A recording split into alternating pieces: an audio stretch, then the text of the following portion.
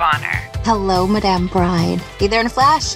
Thank you so much. I don't think I could have driven another inch. Oh, I'm not. No, I insist. The valet. They had him park my car. We don't have a valet. What?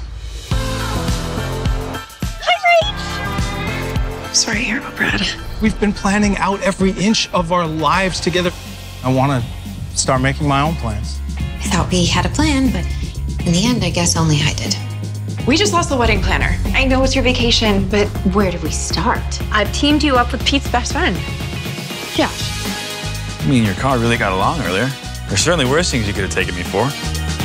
The list said that we have 30 items. We gotta get this.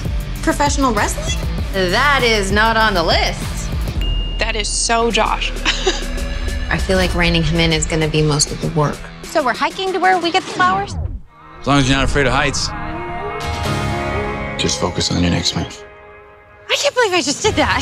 It's like I said, you just had to be in the moment. Good work. And I can still show you my idea for dinner. What happens if the fish aren't biting? I've got Big Ed's Pizza on speed dial.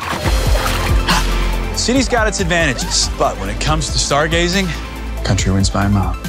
That was a date. Josh is totally wrong for me. Maybe he's the person who can help a planner appreciate the moment she's in right now. You still need a plus one? We can change the plan. It can be whatever you want. It'll never be the right plan if we're not the right couple. True love is making somebody face their fears, even if that means accidentally making them climb a mountain.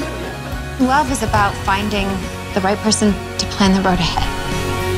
Because plans change, but the right person doesn't.